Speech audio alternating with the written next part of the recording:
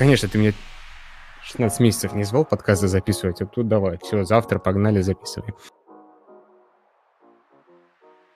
Всем привет, дорогие друзья! Я знаю, вы соскучились по нашим подкастам перед матчем.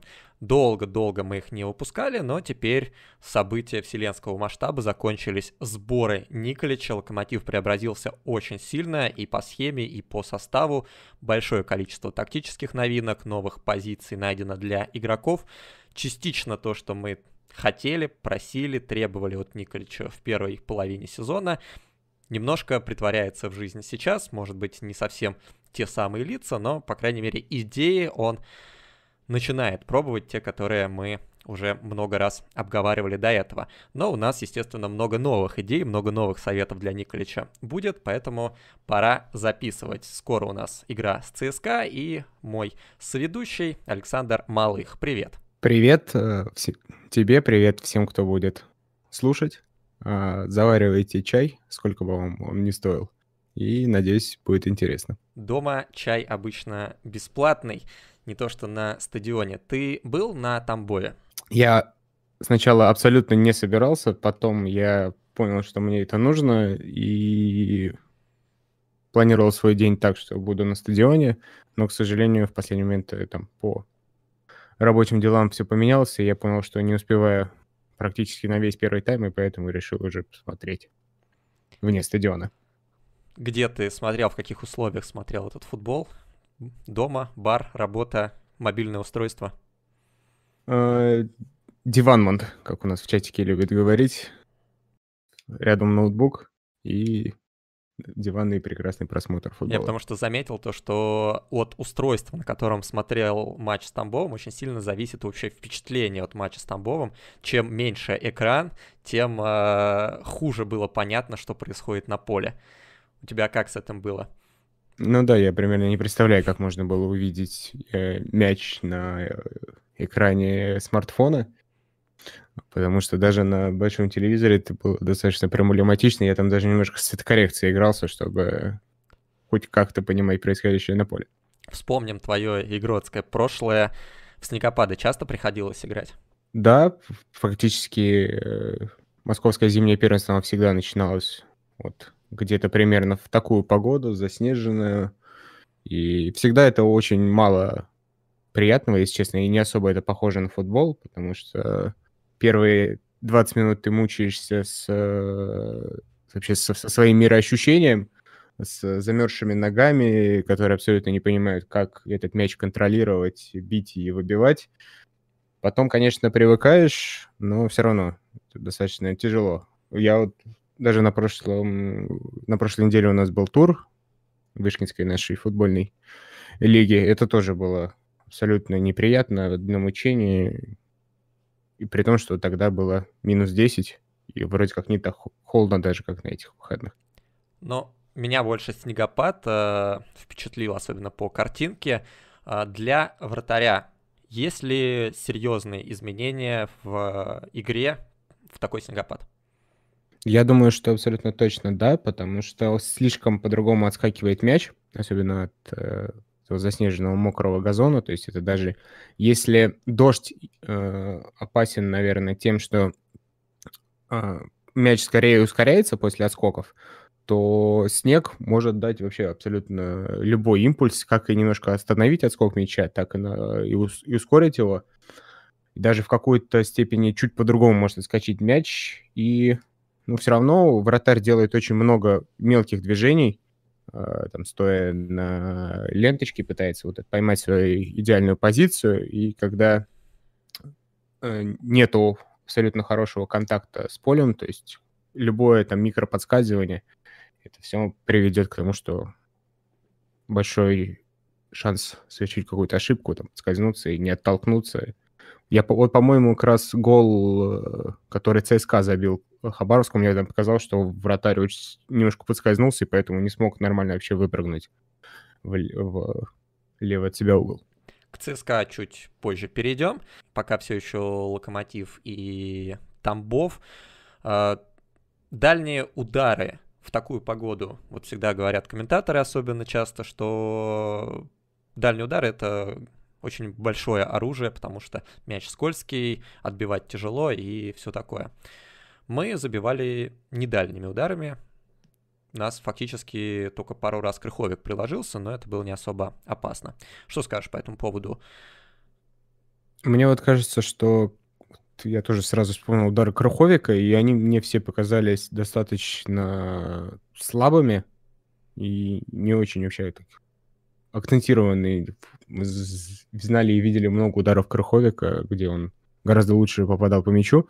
Мне кажется, что это тоже одно из э, последствий вот этой минусовой погоды и заснеженного поля, замерзших ног в том числе, потому что вот эти новые найковские мячи, они достаточно сильно дубеют на холоде, и мне кажется, что не так легко нанести хороший, сильный, мощный удар в такую погоду.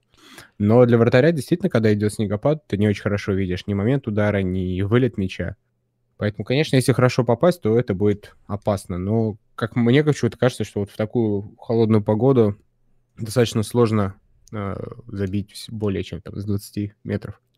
В матче ЦСКА вроде уже будет потеплее, поэтому, наверное, все, что было применимо в матче с Тамбовым, к игре ЦСКА уже большого отношения не имеет. Но если бы, если у нас все-таки холода сохранятся, как раз вот ты вспомнил гол дальним ударом два гола дальним ударом фактически у ЦСКА, которые забиты ворота СКА Хабаровска, у нас таких э, даже опасных ударов по воротам Рыжикова, хотя Тамбов запирался в своей штрафной, вообще не было. Это может стать преимуществом для ЦСКА, что у них достаточно большое количество людей могут пробить издали. А вот у нас как-то с этим плоховато. Ну, у нас фактически, если не считать Крыховика, то практически нету исполнителей в полузащите, которые могут и умеют и часто практикуют бить с дальней дистанции. В то время, да, действительно, у ЦСКА есть там и Обликов с отличным ударом с левой, и Влашич, который тоже никогда не стесняется. Но, вспоминая, наверное, предыдущие матчи с ЦСКА, конечно, тогда и Витиню даже забивал с 30 метров Гилерми, но мне кажется, что в современном футболе это такое не, не самое большое преимущество, если опорная зона располагается хорошо, не дает наносить уж слишком э, опасных ударов из точек а Пабло Дебала в Турине, то не думаю, что это будет каким-то сверхгрозным оружием, которое может хотя бы там на бумаге сильно увеличить шансы ЦСКА. Сейчас будет довольно резкий переход, но в конце концов э, связка найдется. На сборах в Марбелье мы полностью поменяли нашу схему от 4-4-2 с классическими двумя такими форвардами. Мы перешли к 4-1-3-2 или 4-4-2, но с узким ромбом. На самом деле игра, рисунок игры поменялся довольно сильно, довольно сильно поменялись у нас роли футболистов. И вот она, эта самая связь. У нас остался один чистый опорник, и как раз к накрытию дальних ударов он будет иметь прямое отношение. Раньше у нас было побольше футболистов, которые э, занимались именно защитными действиями перед своей штрафной, и все равно их не хватало. Теперь такой полузащитник вообще всего один, это Максим Мухин, судя по всему. Меня немножко страшит эта ситуация, что у ЦСКА довольно много ударников, а у нас э, один Максим Мухин будет их пытаться останавливать и накрывать эти самые дальние удары. У тебя как с этим? Я на самом деле не, не совсем считаю, что в этой схеме у нас прям один э, опорник. Э, не очень хорошо, что на прошедших сборов Э, Локомотив не так много играл против команд, которые сильно э, атакуют позиционно, долго разыгрывают, ищут. Трех матчей с Краснодаром тебе не хватило, что ли? Я, кстати, не уверен, что я смотрел все матчи Краснодара. Мне хватило матча с Краснодаром в чемпионате России. Там не очень приятно, конечно, было. Но я думаю, что если бы еще пару матчей с Краснодаром от 2, 3 и 4 сыграли, то, возможно, это поменяло бы ситуацию. Но вообще я вел скорее к тому, что мне кажется, что против ЦСКА будет более оборонительная версия вот этой схемы, где и Крыховик, и второй инсайт Надеюсь, конечно, что Влад Игнатьев а, сможет поправиться к игре против ЦСКА, но, если честно, большие у меня в этом сомнения. Наверное, Даня Куликов, а, номинально основной претендент на эту позицию. И вполне возможно, что они действительно будут больше а, играть в обороне, особенно при позиционных атаках ЦСКА. И вот как раз, когда один человек по центру и, дво, и двое находятся чуть э, шире, вот на самом деле самая часто бьющая позиция, она не прям посередине ворот, потому что туда часто выдвигается и центральный защитник, и есть опорник, который накрывает. Самая часто бьющая точка как раз вот с полуфлангов, и я думаю, что скорее Джегаш и его напарник с противоположного фланга будут отвечать за то, чтобы ЦСКА не мог беспрепятственно бить с этих точек. Ну вот у меня и есть большие очень сомнения по этому поводу, потому что побежим в атаку, в свой контроль мяча, где-нибудь там потеряем, тут же ЦСКА развернет свою контратаку. У них несколько футболистов, которые могут в итоге пробить, как, собственно, это было и в матче со СКА, когда забивал э, Ильзат Ахметов, да, у них перехват мяча, очень быстро все побежали вперед и нашли в итоге человека на радиусе штрафной, который и забил. А у нас, э, ну, Крыховик, э, очень много по нему споров и вопросов последние несколько месяцев. В основном, конечно, из-за того, что он мало забивает, но и по э, возвращению назад тоже, по накрыванию как раз дальних ударов, тоже были у меня вопросики по осени. Сейчас посмотрим, как это будет. Э, Тамбов явно не тот соперник, с которым можно делать какие-то выводы. Вот с ЦСКА будет э, интересно посмотреть, как эта схема 4-4-2 с узким ромбом, когда Крыховик и Влад Игнатьев или кто-то будет вместо него, как они будут действовать в обороне. Макс Мухин, конечно, прекрасен. Макс Мухин, большие ему респекты за то, как он провел сборы и надежды на то, что все у него будет хорошо этой весной. Но, тем не менее, боюсь, что одного Макса Мухина против всей этой аравы будет не хватать, и поэтому огромная ответственность ложится как раз вот на этих двух центральных полузащитников, которые у нас вроде как должны отвечать и за фланги, и за атаку, и за вот возвращение в оборону и накрывание дальних ударов. Как тебе в целом э, вот это вот 4-4-2 с узким ромбом, то, что получалось на сборах, то, что не получалось на сборах, может быть, э, насколько она подходит нашему составу в текущий момент? Ну вот пока чуть продолжая мысль, я абсолютно согласен с тем, что в этой схеме самая большая ответственность лежит вот на этих двух над э, опорником. То есть это Гжегош и Влад, которые проводят просто какой-то фантастический сезон, э, являясь самым полезным игроком. Уже, наверное, можно сказать, что это его третья позиция за этот э, сезон. И в каждой из них он выглядит органично и здорово помогает в обороне и разгоняет атаки и завершает их раз за разом. А, и я вот, наверное, действительно рассчитываю на, вот, на эту игровую э, мудрость и опытность, э, в том числе Гжегожа, на которого очень будет много э, ответственности в матче ЦСКА, именно от того, насколько правильно он э, распорядится, в том числе своими силами и ответственностью между э, обороной и атакой, наверное, это во многом может предопределить исход этого матча.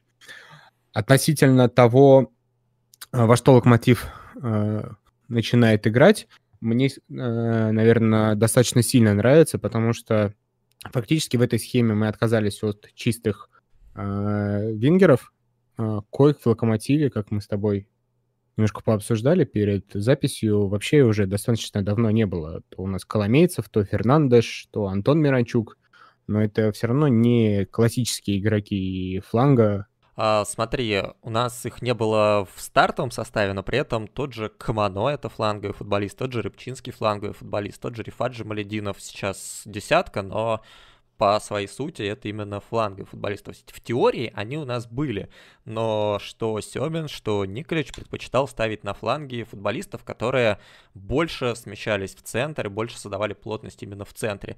И теперь он окончательно изменил схему на такую, где фланги полузащиты в принципе не используются, ни там Крыховик налево не уходит, ни Влад Игнатьев направо не уходит, они если идут вперед, они все равно где-то по центру в этих самых полуфлангах максимум.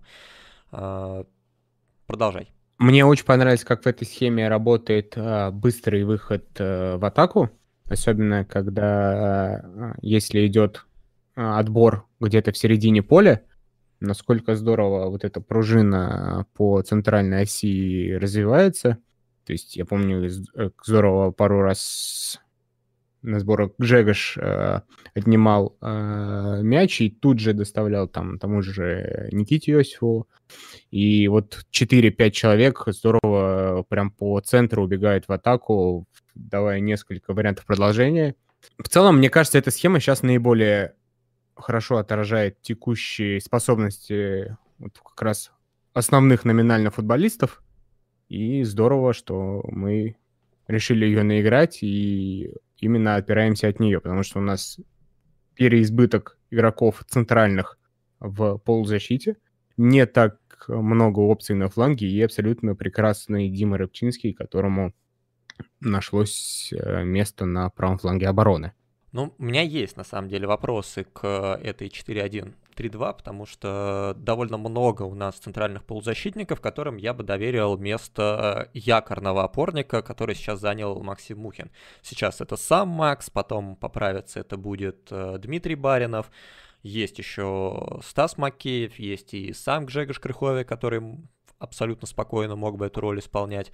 В меньшей степени Даня Куликов, которому э, как раз позиция такого центрального полузащитника, который и в оборону, и в атаку, наверное, более близка, чем э, непосредственно отбирать мячи и отдавать ближнему.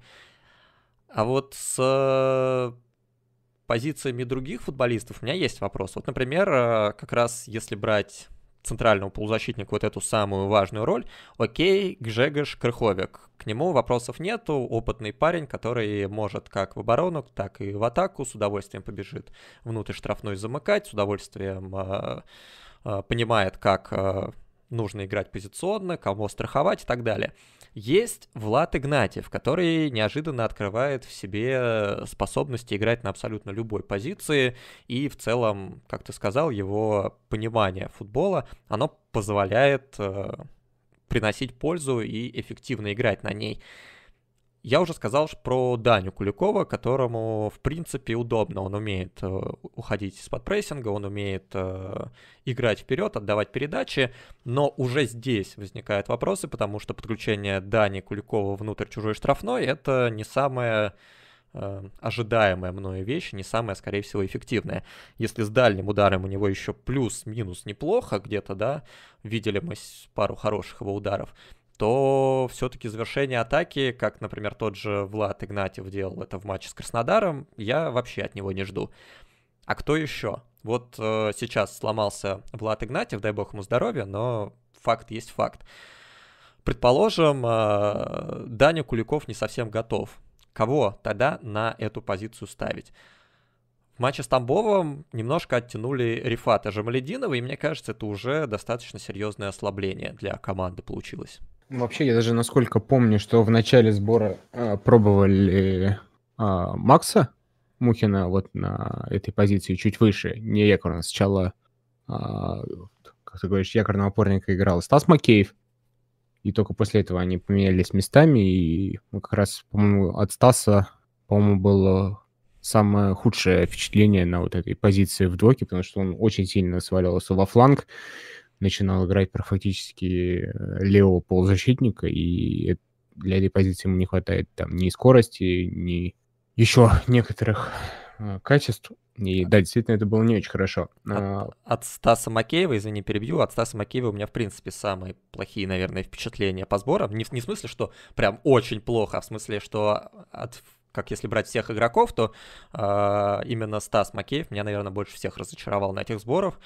Надеюсь я все на его прогресс какой-то явный, сильный, но вот как-то застопорился он на уровне дебюта своего за Локомотив, так и не прогрессирует. Но то, что можно было прощать э, Макееву версии января 2020, версии января 2021, марта 2021 уже как-то не особо прощаются. Все эти его периодические обрезы, недобегания и как-то на одной только цепкости, э, желании бороться, биться, наверное, далеко не уедешь. Да, это на самом деле даже я не могу сказать, что обидно, но да, любопытно, что человек, которого я, наверное, рассматривал как фактически первый backup а, как на роль опорника, так и, наверное, даже на роль центрального защитника. Сейчас, как мне кажется, а, не второй и даже не третья замена в стартовом составе. И я вот в одном из контрольных матчей он, по-моему, даже не вышел в старте вот номинально второго состава, потому что действительно там...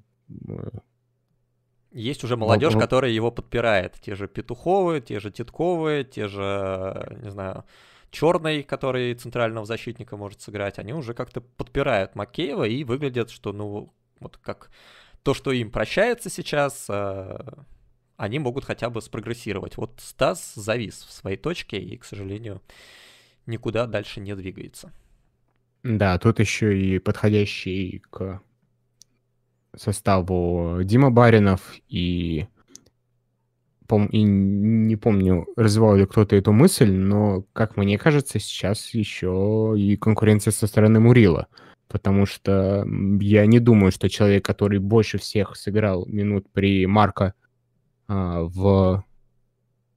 Он вообще, по-моему, больше всех сыграл при Марко а, еще с э, конца прошлого сезона. И учитывая, что похоже сейчас номинальная пара центральных защитников э, Пабло Чорлука, я думаю, что Мурила вполне может рассматриваться и на роль опорника.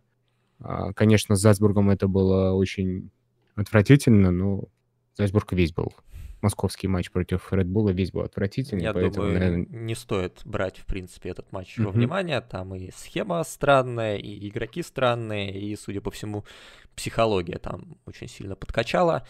Вот. Но про Мурила в центре поля мы достаточно много говорим. Это одна из тех идей, которую Марка все никак не возьмет на вооружение, но советуем я тоже советую обратить на это внимание. Идея, в принципе, весьма-весьма достойная.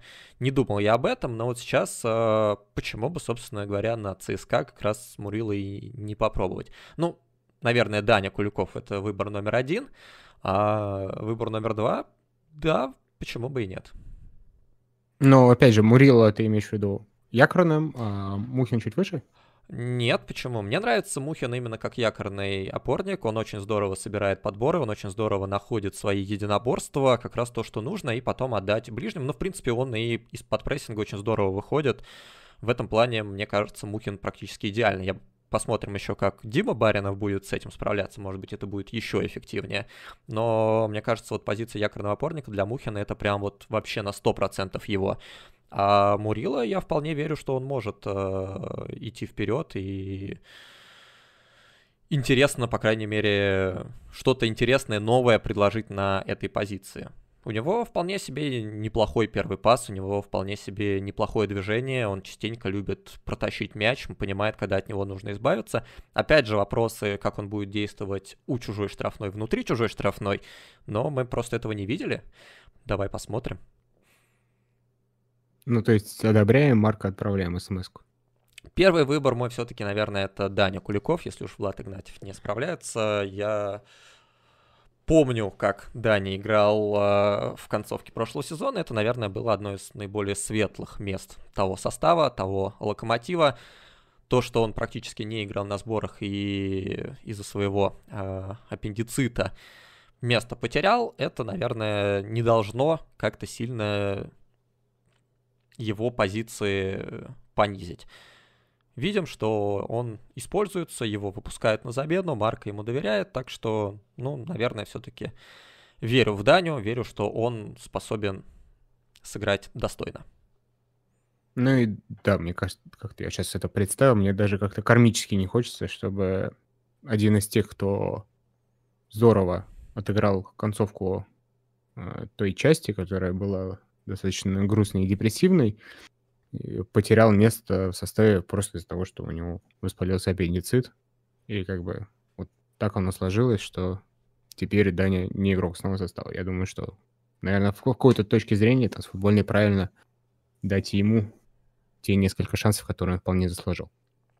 Продолжая всю ту тему, которую ты э, говорил про то, что этот состав, эта схема удобна для этого состава, э, теперь из-за того, что у нас нету... Нет, это про десятку сейчас будешь говорить? Нет, я буду говорить про Дмитрия Рыбчинского и Камано в плане того, что из-за того, что у нас нету... Флан... Ну, и про Жемалединова получается тоже, да, из-за того, что у нас нету фланговых э, полузащитников как таковых, у нас Камано уходит на позицию нападающего, а Дмитрий Рыбчинский уходит на позицию правого защитника.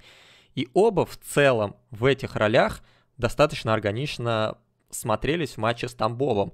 Но как это будет в матчах с соперниками более высокого уровня, мы не знаем, и предсказать это довольно сложно.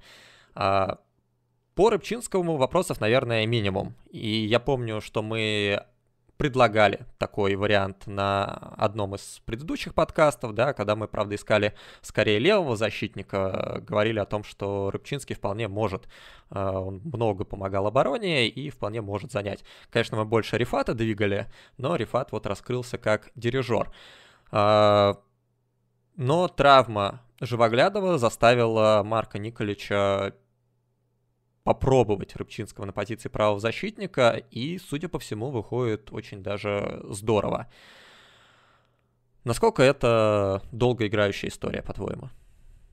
Я надеюсь, что это очень долгоиграющая история, потому что, ну, хвала Диме Живоглядову за то, как он э, за этот год прошедший научился играть в обороне, что у него не трясутся ноги, когда на него бежит даже игрок Атлетика и Баварии, но...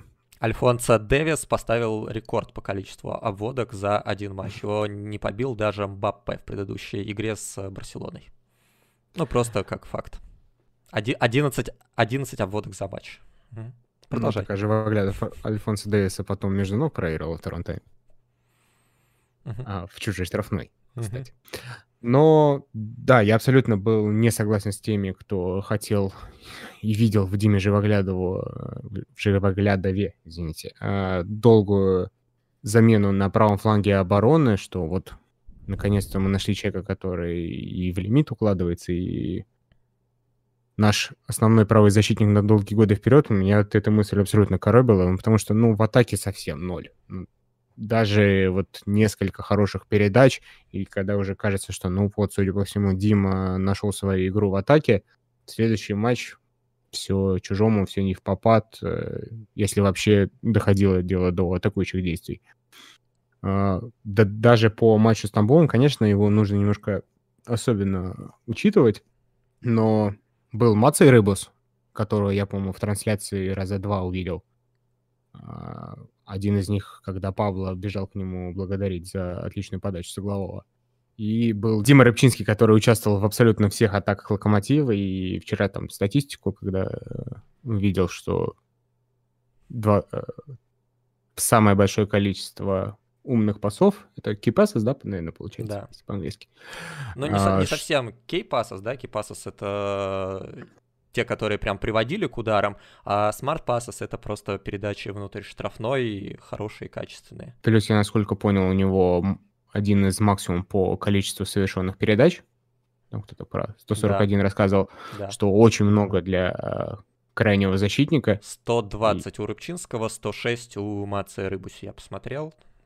Но действительно очень большое влияние на игру Рыбчинский оказал. И мне кажется, что вполне себе э, Дима может подка- э, прокачать свою игру, в том числе и в обороне, достаточно цепкий, умеет правильно играть один в один, не давать себя ввести, тем более он сам отличный дриблер, и я думаю, что это может быть подспорьем для того, чтобы просто понимать, как против него двигается нападающий, что он может какой финт заложить в данный конкретный момент. Поэтому надеюсь, что мы нашли своего Карвахаля. Почему-то мне вот очень а, показалось, что они действительно как-то метафизически похоже, похоже двигаются, особенно в атакующих действиях. И я надеюсь, что у Димы все получится. И для меня это одна из самых интересных э, аспектов игры Локомотива вот, в возобновившемся сезоне. Ну, по Рыбчинскому лично у меня вопросов нету. Действительно, это то, что, наверное, самому Рыбчинскому очень сильно поможет в его карьере. Если его и не станут двигать вперед, то, по крайней мере, у него теперь есть позиция правого защитника, на которой он всегда сможет себя в любой команде российской премьер-лиги, пока жив лимит, найти. Вопрос у меня по Камано. Получается, что теперь для него ровно одна позиция на поле, и это позиция центрального нападающего. И Ладно, с Тамбовом, хорошо, забил, окей. Но, во-первых, мы видели замечательную феерию в матче с Ростовом на сборах, где он запорол 6-7 явнейших голевых моментов.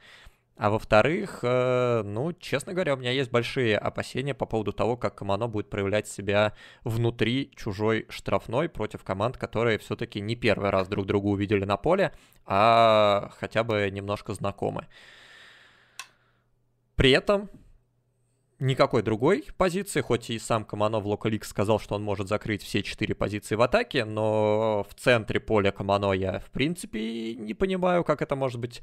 А на позиции десятки, опять же, ни разу я не видел, чтобы Камано отдал хотя бы подобие паса, какие отдают, а, какие отдает Рифат Джамалединов. Но дальше восстанавливается Зелуиш, ему 100% нужно будет место в составе, и ну, у меня все-таки есть желание, чтобы Лисакович продолжал играть, потому что это нападающий. И в него, в его прогресс я, по крайней мере, верю. А что делать Камано? Возможно, скорее ты прав относительно того, что в этой схеме нет для него какой-либо второй позиции, кроме центрального нападающего, но мне почему-то хочется, что и кажется, что Локомотив не, во всяком случае, на данный момент с Николичем не готов и не собирается играть исключительно по одной схеме. Мне вот почему-то кажется, что есть еще и у нас и другие опции, в том числе потому, что большинство игроков Локомотива, в том числе и с Марка, э, играли и в 4-4-2, и в 4-2-3-1, и в прочие подобия. И мне почему-то кажется, что Локомотив не во всех оставшихся матчах будет играть а, вот по этой новой наигранной схеме на сборах. Но мне нравится в целом, как действует Камано э, на позиции нападающего, потому что даже несмотря на то, что с Ростовом он не забил ничего, в итоге даже ни одного не забил. Ничего. А, но отрадно же, что нападающий вообще имеет такое количество моментов. Понятно, что, ну, бывает и, там, и день такой, что ничего не залетает, но я вполне вижу, как он правильно открывается, находит э, баланс вот этой на линии между двумя защитниками, здорово открывается им за спину, правильно начинает а, двигаться и вовремя ускоряться. И в том числе в матче с Тамбовым он дважды нашел вот мяч на дальней штанге. И это тоже то, чего мы уже три года пытаемся увидеть от Федора. А, есть такой нападающий в «Локомотиве», который обычно прибегает в штрафную и стоит с э, двумя руками, указывающими себе на ноги, и «дайте мне вот сюда пас, 10 секунд, я его буду здесь ждать». Это сборы и это Тамбов, но ты же прекрасно понимаешь, да, что просто люди не понимают, незнакомые и игра в обороне требует определенной сыгранности, и люди просто ну, не готовы были к этому. А Ростов, э, там не было подготовки непосредственно к сопернику, и не было понимания, что Камано может вот так вот играть с забегами за спину. Карпину, я думаю, просто было абсолютно наплевать на тот факт, то, что Иосифов может стартовать куда-то, что Камано, может быть, может стартовать куда-то. Но теперь, когда пойдет российская премьер-лига, все-таки в большинстве клубов есть некое подобие аналитической группы, которая э, разбирает и понимает, ага, вот, Камано, вот с ним нужно играть уже немножко по-другому. И у меня есть, ну вот, полное впечатление, что это игрок, которому нужно пространство, которому нужна э, свобода действий, а внутри штрафной площади этой свободы у него в любом случае не будет. У меня есть очень большие опасения по поводу того, что Камано внутри чужой штрафной это, ну, далеко не фарфан, да, которому, который умел находить место для того, чтобы мяч к нему все-таки прикатился, и он смог его пробить. И это точно не Ньесе, который продерется, это точно не Ндое, который корпусом всех оттеснит. В итоге, ну какие сильные стороны у Камано? Честно говоря, пока большие вопросы у меня с этим. Фарфанов в каждом выпуске подкаста будем вспоминать. Пока он не найдет себе новый клуб. Я же позитивчика добавляю, как нам завещал Давай. брат.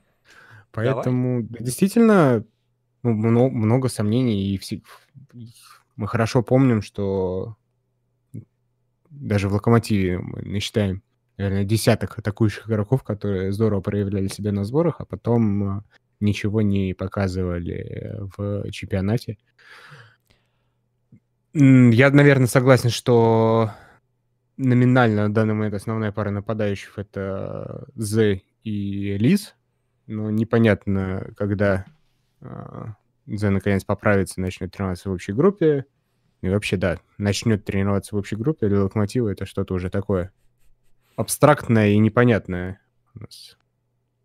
Почему-то три человека, которые уже должны быть полностью готовы, так и не начали, не возобновили тренировки, не участвуют в контрольных а матчах. А некоторые возобновили тренировки, играют в общей группе, но при этом не попадают даже в запас на контрольные матчи. Ты про Федора?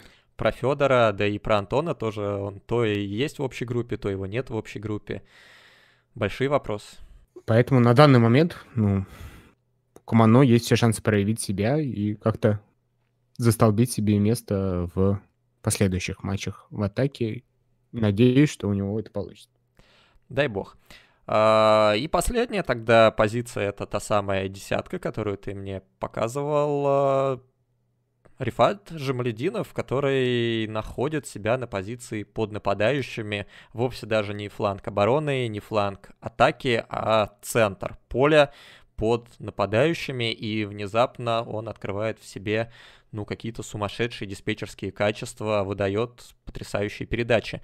Для тебя это сюрприз? Абсолютно точно, да, потому что ну, я вообще не ожидал его увидеть даже на этой позиции. Конечно, понимаю, что это, скорее всего, влияние СВ на клуб, потому что на этой позиции исключительно Убердей в Рубине все пытался рассмотреть, но и, и то после неудачных попыток, по-моему, бросил это и обратно поставил на фланг. Но Рифат действительно здорово проявил себя на сборах, и вот мы с тобой пытались найти ему тоже какое-то место на поле и новое, и все пытались убедить поставить его крайним защитником, но на данный момент десятка получается достаточно хорошо. В целом, наверное, да все то же самое, что можно сказать про Камано, что на сборах получалось, на сборах э, давали в том числе и время обработать мяч, поднять голову, отдать пас. Э, с этим успешно достаточно Рифат справлялся. Но, опять же, не факт, что э, это будет получаться в чемпионате России, где куда больше э, внимания будет к этой позиции, к его роли. И, наверное, мне кажется, что в «Локомотиве» на данный момент это самая неоднозначная позиция, потому что я не вижу в том числе и Антона э, Мирончука как человека, который вот наша десятка на годы вперед. Потому что Потому что через полгода он уйдет? Потому что... Ну, почему полгода? Уже гораздо раньше. Полгода, в декабре было. А теперь... Э... Да, сбил меня с моей великолепной мысли, и потом все будут говорить, что я какую-то чушь несу, а на самом деле я же придумал все правильно, что э, в том числе во многих интервью Антон говорил, что ему не очень нравится играть вот по нападающим, не очень нравится играть в центре, что он себя видит скорее вот на полуфланге, а, где он и играл последние, наверное, года два и провел свой вот лучший сезон вот с э, левой стороны на полуфланге, облад... Э, протаскивая мяч, в том числе там со своей половины поля, с центра до последней трети. И мне кажется, что эта позиция для Локомотива, наверное, одна из приоритетных для вот нашей селекционной службы и трансферного комитета. И это как раз... уже. И это как раз та мысль тоже, которую я хотел подвести если ты говоришь, что у нас э, эта схема, она хорошо подходит для нашего состава, то если вдруг у Рифата Жамалединова окажется, что он не такая хорошая десятка, как э, на сборах, Если вдруг Антон Миранчук так и не поправится, а если и поправится, то тоже десятка — это не самая его удобная позиция, то кто следующий-то? Кто, кого мы на этой позиции смотрим? Никиту Иосифова? Мне кажется, он пока еще не готов. Вот при всей, опять же, при всех восторгах, которые были к нему на сборах, мне кажется, Никита Иосифов не готов для большого футбола. Наверное, в отношении молодых ты тут больше и правильнее все скажешь. Мне Никита очень понравился на сборах, вот этой своей настырностью, а, тем, наверное, чем зацепил Хвича, когда это было, два года назад, когда он очень здорово вышел в центре и абсолютно не видел перед собой там никаких авторитетов, в том числе внутри команды, что там, мог спокойно пойти и обыгрывать Чорлуку между ног. И многие, да, об этом говорили. И Никита, наверное, как-то застолбил за собой место вот этого первого запасного, и я абсолютно не удивился, когда именно он вышел с Тамбовым после того, как Влад попросил э, замену. Рифат опустился чуть ниже, благо соперник, да, позволял на так, пойти на такой небольшой, да, наверное, эксперимент, что, Рифат до этого не играл в этой, на этой позиции. Э, но чуть разворачивая в обратную сторону мысль, если просто посчитать, сколько у нас игроков сейчас недоступно для Марка, это же, ну, это прям много. А, минус Федор, минус э, З, минус э, Антон. Непонятно, что с Лысцом, потому что он не принимал участие, по-моему, в двух последних контрольных матчах. А, сейчас минус еще получается Влад Игнатьев. И получается, что это вновь те пресловутые травмы, которые фактически... У меня сейчас почему-то вылетела мысль, но я помню, что мы считали еще несколько человек, и там прям получается, что... Ну, Баринова ты не назвал еще, который тоже непонятно, готов, не готов, вроде как тренируется, вроде как не тренируется, сложно все это. Живоглядов. Живоглядов, безусловно. Да, или по Лисаковичу у нас э, были да, вопросы после того, как а, он повредил колено, и это достаточно сильно уменьшает а, простор для тренера, в который он может расположить своих игроков. И я, кстати, в том числе думаю, что, возможно, благодаря этому у нас и появилась возможность увидеть э, Дима Рыбчинского справа, Рифата десяткой.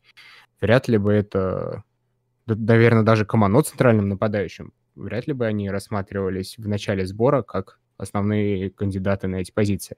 Ну, мы это прекрасно видели, потому что все сборы на правом фланге провел Дмитрий Живоглядов. Не то чтобы это было как-то феноменально, и только вот из-за травмы сначала попробовали одного, потом Рыбчинского туда, да, даже, даже Влад Игнатьев в одном из матчей на сборах вернулся на позицию правого защитника, не особо впечатлил, и вот только после этого туда поставили Дмитрия Рыбчинского, который уже свою позицию не отдал. А, а ведь вызывали на позицию правого защитника Шаркова на сборы, а в итоге дали ему сыграть несколько минут на левом фланге, и, и все. Да, направо, по-моему, Селяна, да, в той игре? Да. Ну, в общем, да, к тому, что Марко действительно очень много сочетаний посмотрел на этих сборах, в том числе там и, по-моему, было 4 или 5 вариаций центральных защитников в том числе.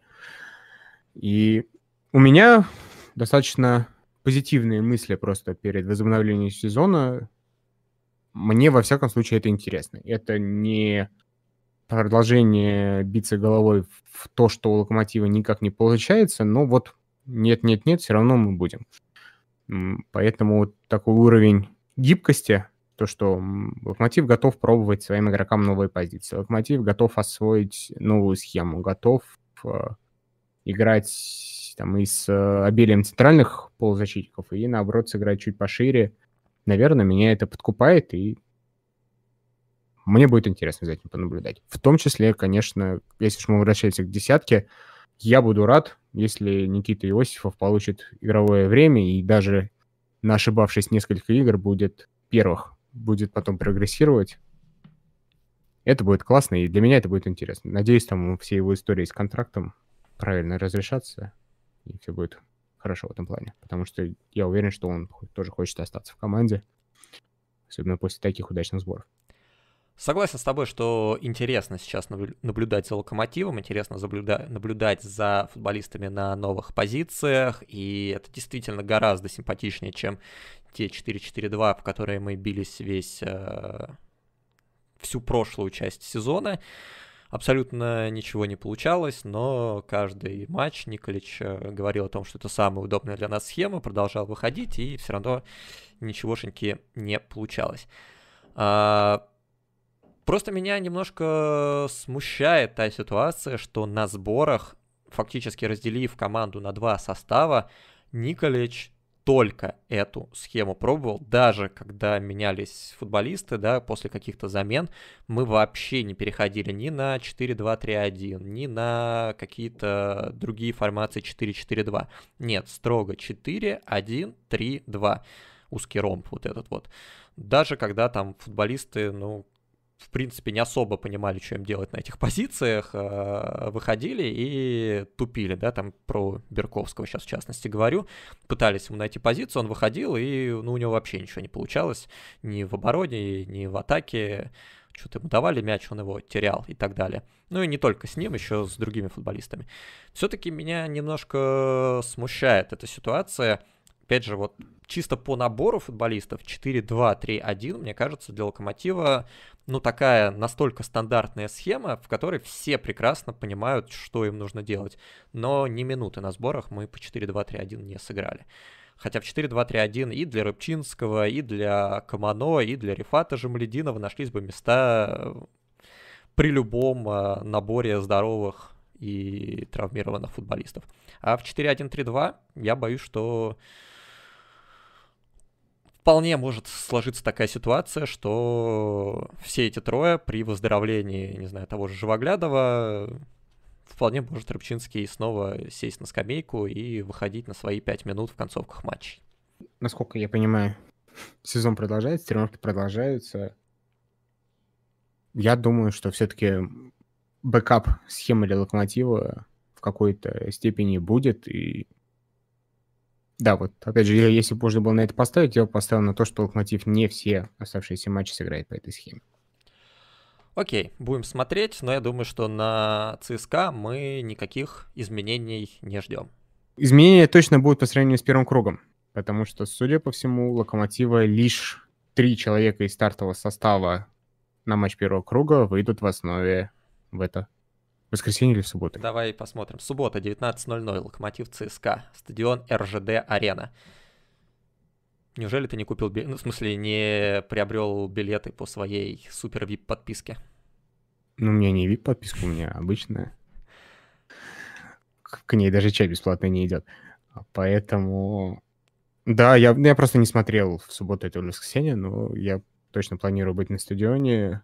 Надеюсь, что потеплеет, и мне прям даже немножко тревожно, волнительно от того, что это должен быть матч, где юг будет практически забит, и наконец-то будет какая-то позитивная атмосфера на стадионе, и болельщики будут поддерживать команду и гнать ее вперед. Мне на это субботу, очень нравилось. На... на субботу обещают даже плюсовую температуру, так что никаких отмазок. Ну все, все в зеленых футболках идем болеть за локомотив. Но я не пойду, извините. Так Она вот. тоже в зеленой футболке. Так вот, э, я имел в виду, что схема не будет изменена. Я думаю, на ЦСКА 4-1-3-2. И здесь, наверное, опять же, даже нету вопросов плюс-минус по составу, за исключением, кто заменит Влада Игнатьева, насколько он здоров, болен. И это вот единственная позиция, которую нам нужно понять. В остальном, вроде, ну, Лисаковича можно обсудить но потому что он с Тамбовым не ахти как сыграл и был первым замененным не по травме, но просто вряд ли Иосифова опять же бросят с первых минут на ЦСКА как нападающего. Скорее всего, это будет э, позиция для усиления со скамейки.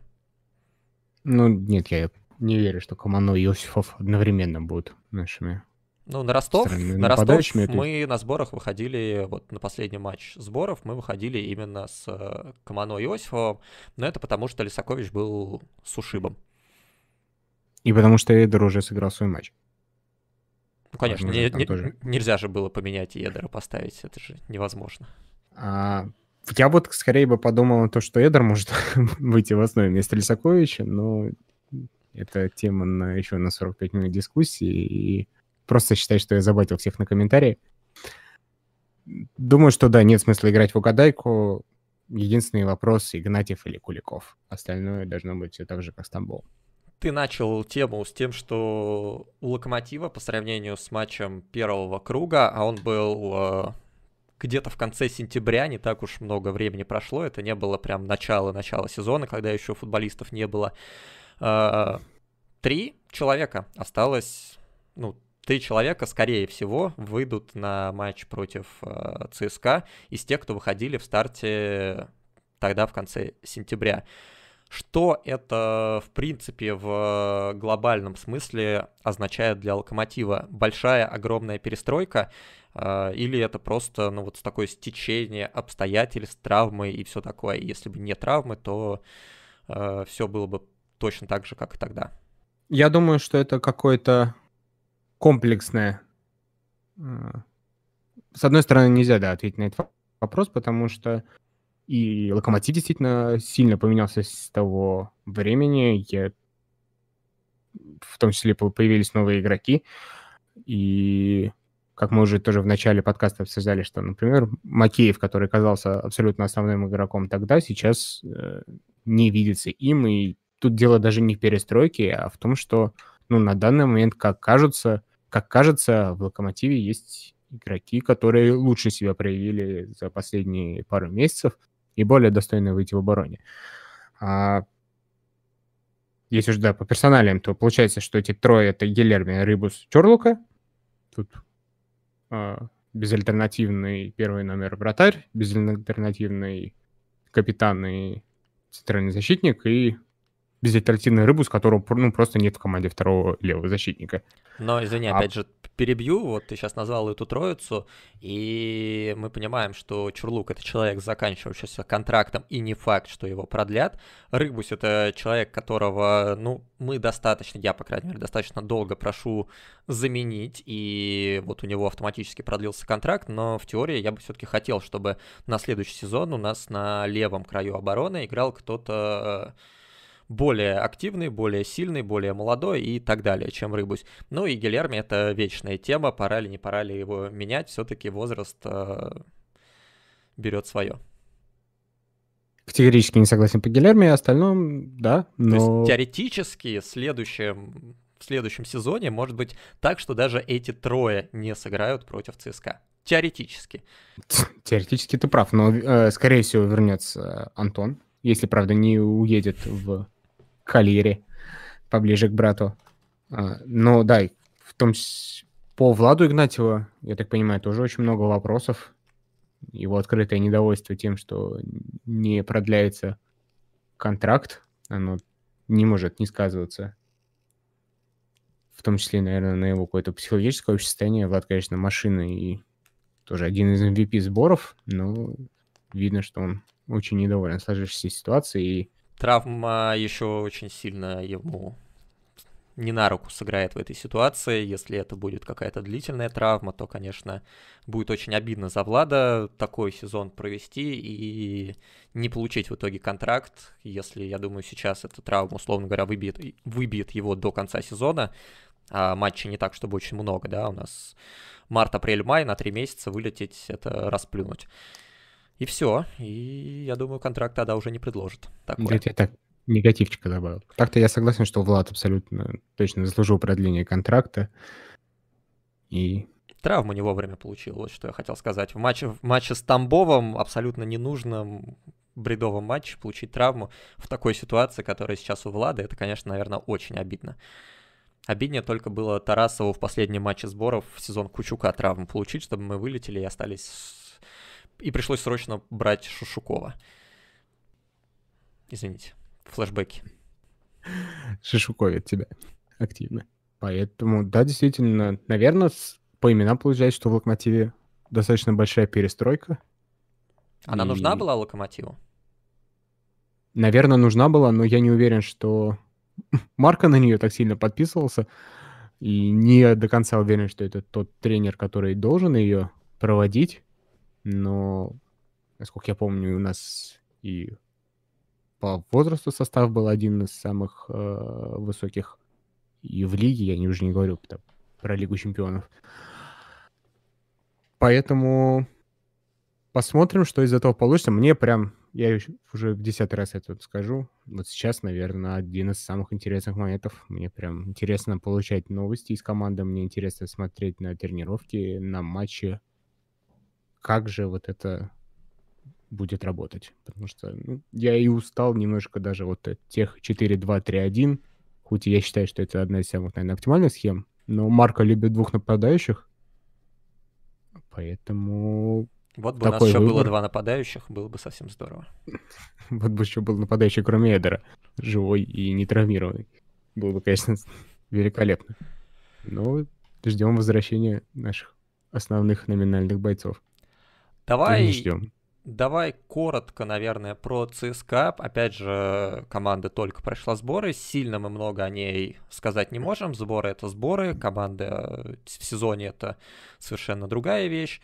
И ты смотрел матч со СКА, ты сказал, что более-менее внимательно. Я потому что смотрел его краем глаза и ничего сильно интересного для себя не заметил, кроме тех моментов, которые я уже говорил про дальние удары. Мне не очень понравилось, как играл ЦСКА, но видно было, да, что и погода не располагает к хорошему футболу, и газон тоже, да, на ВТБшке подвел. Но что-то принципиально нового и интересного и какого-то атакующего я в игре ЦСКА не заметил. Катали мячик, забили дальним ударом какой-то степени повезло там. Понятно, что СКА тоже не сильно много создавал, но не было какого-то огромного разрыва между двумя командами.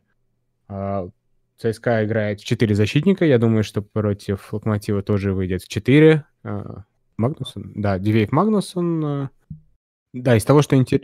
интересно было, это то, что Чалов не вышел в старте, и Обликов не вышел в старте. Шкурин был и в середине тройки у них Загоев, Лашич, Ахметов. Но, судя по всему, пока на данный момент все так же основная опасность в атаке от Влашича. И очень много... Мы, по-моему, перед прошлым каким-то ЦСКА подкастом тоже говорили о том, что очень много будет зависеть от того, насколько пойдет, не пойдет у Влашича, насколько наши ребята смогут его сдерживать. Мне почему-то кажется, Извини, что Рандон выйдет. Перебью, смотрел историю наших подкастов, и мы начинали с того, что сделали подкаст перед Тамбовым, а следующий подкаст был перед ЦСКА. История циклична. А зарплата за подкастом мне так и не пришла. Мне почему-то кажется, что Рандон выйдет в старте. А, вот мне кажется, что есть такой вот у Гончаренко, что когда ему дают какую-то новую... Блин, плохо будет про рандомную игрушку говорить. Но вот он очень этим воодушевляется, и я почему-то думаю, что Рандон будет в старте. Вместо Шкурина, получается? Ну, да, если они наигрывают одинокого нападающего. Да, с формулировками, мне, конечно, беда сегодня, уж извините. Я... Но я... А, признаюсь, что я стал более внимательно смотреть матч ЦСКА СКА после того, как вышел рандон. И, честно говоря, вот такого рандона я не боюсь вообще ни секунды. То есть от него, конечно, может что-то залететь в ворота, но влияние на игру он у ЦСКА не оказывал вообще никакого. То есть, ну, э, я вспоминаю, как я с Аланаре всегда смеялся, а потом он забил нам победный гол. Вот что-то подобное, видимо, произойдет и с Рандоном, но серьезно, вот в той форме, в которой сейчас находится Рандон, я его вообще не боюсь. Ну, то есть это что-то, что может там на отскоке где-то сыграть, но, например, а, он украл гол у Эджуки, потому что Эджуки все сделал здорово, забил, а Рандон что-то делал в офсайде, э, как раз перекрывал траекторию мяча, и из-за этого офсайд получился активным. В общем, ну, я бы не сильно боялся Рандона. ЦСКА команда Рандона.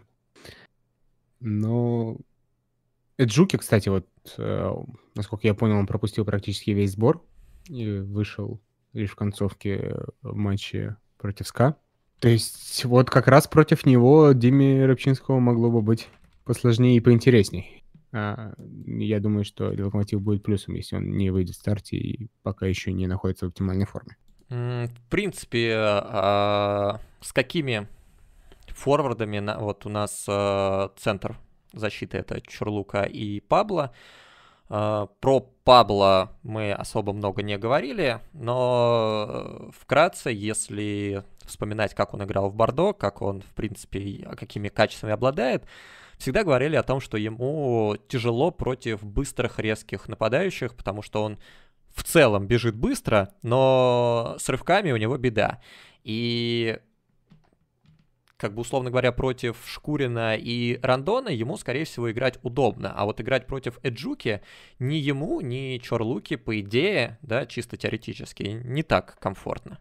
Кстати, я еще вспоминаю, что про тот подкаст против ЦСКА мы очень хвалили Мурилу и говорили как раз о том, что ему легче будет играть как против Эджуки, так и это одна из наших главных ударных сил впереди на возможных э, стандартах. Потому что ЦСКА тогда был в хорошей форме, Локомотив испытывал небольшой спад, и вот...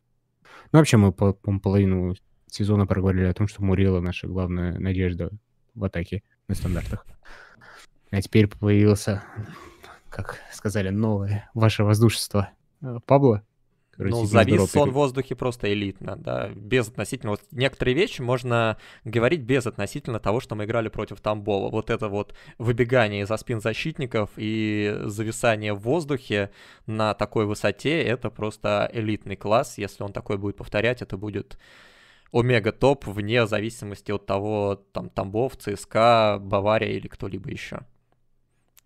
Но вот так Фарфан умел играть, не знаю, как, каким образом он, у него это получалось, но находил позицию, выбегал из защитников, и вне зависимости от того, какой его рост, какой рост у соперников, просто подпрыгивал, зависал в воздухе и вколачивал. Порту, ЦСКА или, там, не знаю, Рубин какой-нибудь, вообще не важно. Ну и возвращаемся, получается, к чему? Резкость э, нападающих. Да. Вот на самом деле даже в матче с э, этим самым Тамбовым было пара ситуаций, когда ну, было ощущение, что наши защитники, они уступают в скорости игрокам Тамбова. Э, там Рыбчинский в одном моменте спасал ситуацию, когда добежал и накрыл удар. И пара других там ситуаций, когда вот вроде как наши защитники проигрывают в скорости, а это условный игрок Тамбова, который еще вчера где-то в ФНЛ не особо впечатлял. Эджуки выглядит посерьезнее этих пацанов.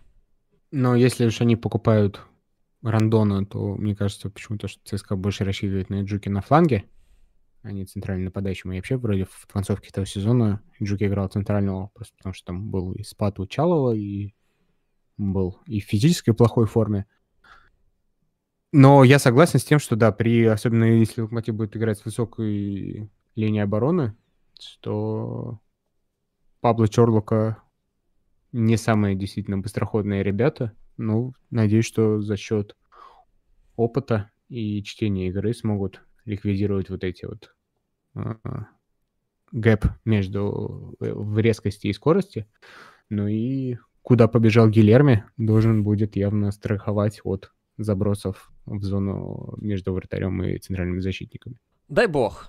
Принципе, я думаю, что больше мы про ЦСКА особо ничего сказать не можем, потому что только начало сезона, ни наш матч против Тамбова, ни их матч против СКА — это не показатели какой-то вот силы клуба и тенденций, которые так или иначе будут у них в игре, да, что у нас непонятно, как мы будем играть против ЦСКА, потому что мы играли на заснеженном поле против Тамбова, ни у ЦСКА непонятно, как они будут играть против Локомотива, потому что они играли против СКА, а это совсем иная степень, а, иная степень сопротивления. А, если у тебя нечего добавить, то я предлагаю перейти к нашей традиционной рубрике прогнозы. Что ты ждешь от этого матча? Как, по-твоему, он будет складываться и чем завершится? Если честно, я больше всего жду атмосферы в Черкизово своей, наверное, собственной радости от присутствия на стадионе. Все-таки люблю я это дело, даже несмотря на плохую погоду. Вот я прям в каких-то таких воодушевленных чувствах хочу попасть на стадион и хочу, чтобы команда сыграла здорово и, конечно, победила. Но по прогнозам, к сожалению, мне кажется, что здесь уверенная игра на три исхода.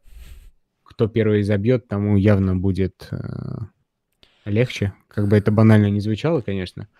Хорошо, ждешь ли ты какой... закрытой игры с малым количеством мячей, или это будет достаточно игра на встречных курсах, где и те, и другие будут иметь большое количество шансов?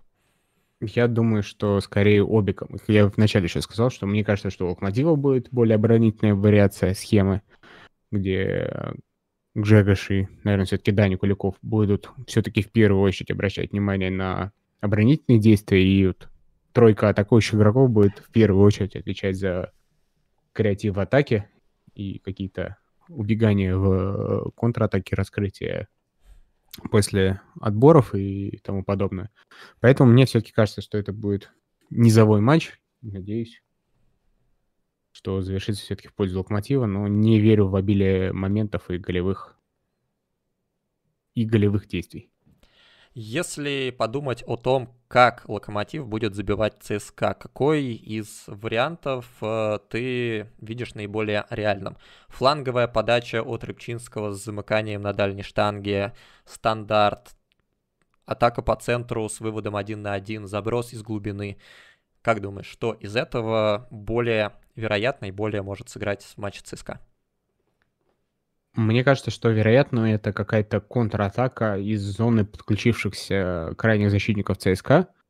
Угу. То есть где-то прострел с угла э, штрафной, то есть, может быть, чуть ближе к лицевой, туда да, идет пас, разрезающий пас, не успевавшему добежать, вернуться в оборону защитнику ЦСКА, и оттуда прострел, наверное, чуть назад, и удар с 11 Краховик метров. Забивает. Ну, либо Крыховик, или Влад Игнатьев, если он все-таки долечится и сможет до тут добежать, потому что я бы да, на то, что Влад все-таки добежит, я бы практически в этом не сомневался.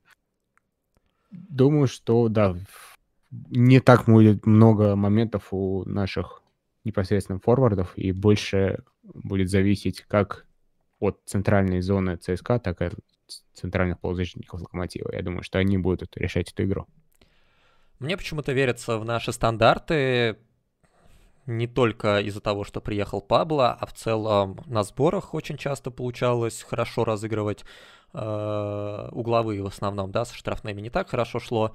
Я даже не очень представляю, кто у нас сейчас будет бить штрафные, если вдруг неожиданно Николай Титков на поле не выйдет. Э, я опасаюсь дальних ударов, я это уже несколько раз говорил. Дальние удары ЦСКА это моя какая-то личная боль, потому что слишком уж много я их видел э, за последние лет 10, наверное. Э, и сейчас по-прежнему огромное количество ребят у ЦСКА этим дальним ударом обладают, а у нас, как я уже говорил, в опорке только Максим Мухин, который за всеми ними вряд ли поспеет. Э, я думаю, что забито все-таки будет, наверное, если выражаться терминологией букмекерских контор, больше двух с половиной мячей. А, скорее всего, счет 2-1, в чью пользу я не знаю, но вот мне кажется, что где-то вот около 2-1 счет будет э, витать. Вот какие-то вот такие вот у меня мысли по этой игре, но я надеюсь, то, что вот сейчас я, в принципе, верю, что Локомотив может доминировать над ЦСКА по контролю мяча, по количеству созданных моментов. Мне кажется, что у Локомотива это прошел ту планку, когда мы выходили на ЦСКА с э, дрожащими коленками, как это было в прошлой игре, хоть мы и выиграли тот матч, но тем не менее на ту игру мы выходили с позиции аутсайдера, и мне казалось, что нам нужно вот скорее закрыть ЦСКА и надеяться на контратаки. Сейчас я думаю, что Локомотив, в принципе, может эту игру вести.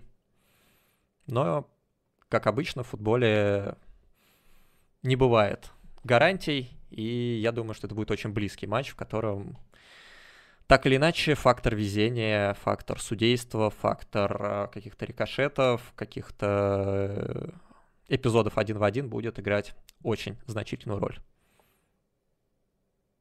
Ну вот 2-1 в ту или иную пользу звучит как лучший вариант на этот матч. Самый прогнозируемый, во всяком случае. На этом тогда, наверное, закончим наши мысли излияния. Ждем вас всех на стадионе. По крайней мере, Саша Малых вас всех там ждет, а я буду очень рад, если вы туда придете. Э, верим в победу Локомотива, верим в сборы Николича и до встречи. Не знаю когда, но определенно до очень скорой встречи в следующем подкасте перед матчем. Всем пока. Всем спасибо, всем пока. Меч круглый, поле ровное, но мы победим.